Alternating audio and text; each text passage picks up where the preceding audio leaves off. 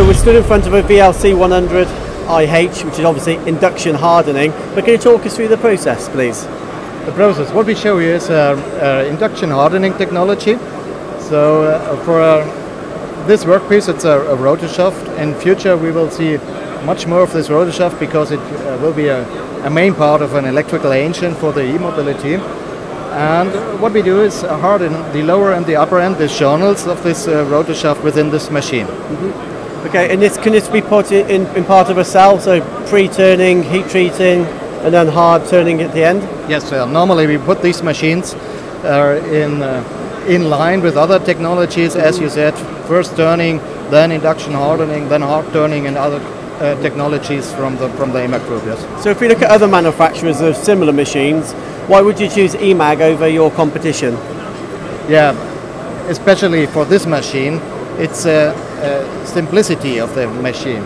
Normally, when we have got multiple operation uh, uh, hardening two uh, two areas in a, of a part or even more, um, then the machine normally gets very complex. So what we use here with this machine is uh, the simple process of the pickup principle from the traditional EMAG machines. So we clamp the part, put it into the working area. There's one inductor uh, fixed in the machine and the other one comes from the top with a Z2 axis. And this is in terms of uh, uh, simplicity, it's very, very easy and simple to manage. Mm-hmm. And with the uh, accuracy of the EMAG machines, this is another benefit for the, for the customer. Yeah? Mm-hmm. Uh, with this, we can achieve the same accuracy of the well-known accuracy of the EMAG turning machines. Yeah? So how do we ensure we don't put too much heat into the component and maybe bend the component?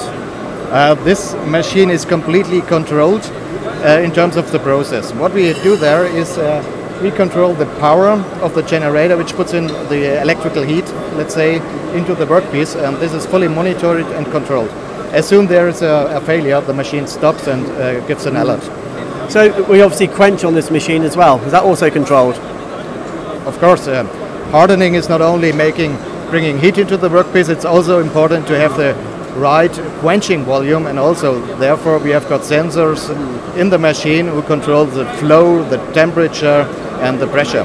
And this is also controlled, and as soon as there's a failure, the machine stops. In hard. it used to be quite what we call a black art. There was a lot of trial and error, but now you've taken a lot of skill away, haven't you? Um, yes, of course, we try to do to remove as much uh, skill as possible to the to the operator in front of the machine.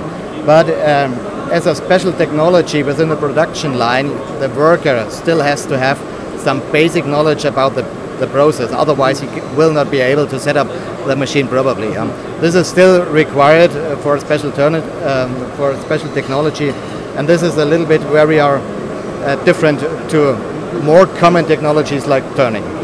And we've got the Siemens control again, so no doubt it's very easy to use, very straightforward, conversational programming.